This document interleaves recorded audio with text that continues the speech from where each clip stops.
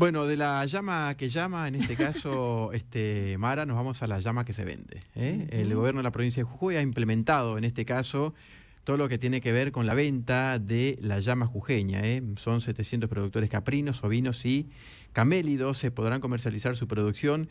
Esto es en el marco del impulso del gobierno de Jujuy ¿eh? al desarrollo agroganadero en la región de La Puna.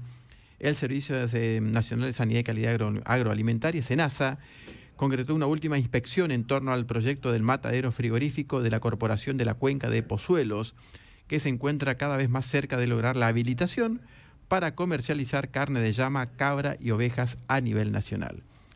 Concretar este proyecto es de gran importancia, nos va a permitir transitar con la carne de camélidos, caprinos y ovinos por todo el país y también pensar en la exportación de ciertos cortes especiales de llama o cordero, expresó el coordinador de agencias de desarrollo Félix Pérez tras la inspección. Entonces, se van a comercializar llamas. ¿eh? Las llamas. llamas. ¿Tú alguna vez comido llama, Amaro, o no? No, yo fui muchos años vegetariana. Vegetariana. Sí, 10 años fui. Volvió a la carne. Cuando quedé embarazada en el último trimestre me agarró anemia. Entonces dije, bueno, que es la situación más rápida para, para salir de eso, comer carne, y la verdad que no. Comí carne, no me subió el hierro.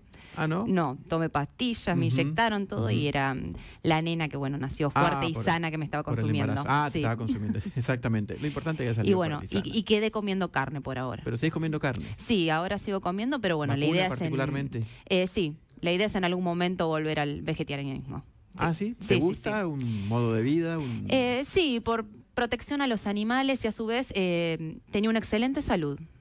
Mira vos. no me enfermaba nunca, no me resfriaba nunca. Mira vos. Ah, bueno, sí. Bueno, eh, hay, digamos, hay mucha gente que está yendo hacia el lado del ser vegetariano y el lado del. es que la importancia no es solamente decir, bueno, eh, dejo la carne de lado sino de que hay que complementarlo con un montón de cosas. Hay que interiorizarse para suplir justamente todo lo, que te aporta la, carne, ya sea las carnes rojas o las carnes blancas pero no es solamente dejo la carne. No, hay que saber una dieta adecuada para justamente que el organismo tenga todos los nutrientes que necesitan. Y los jóvenes particularmente, este, nos fui un poco de tema de la cuestión de la llama, los jóvenes fundamentalmente están con esa idea en general, no todos, de del tema de ser vegano, de la comida sana, y me parece perfecto, digamos, hay que cuidarse desde chico para tener este, buena salud de grande.